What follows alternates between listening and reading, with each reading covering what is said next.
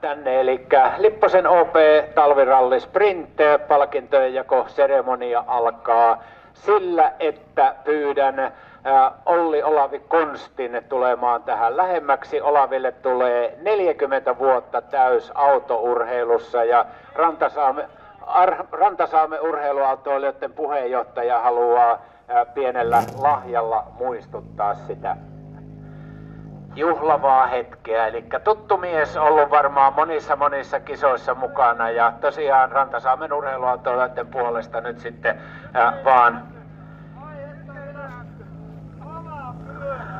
aina ollut näin, että kun konstit loppuu, niin keinot alkaa tai toisinpäin. no niin, annetaan aplodit miehelle ja kiitoksia. Ja sitten ruvetaan jakamaan palkinnot ja lähdetään luokittain liikkeelle. Niin, onnea vaan minunkin puolesta oli. Aina on tavattu kisoissa. Luokka kaksi.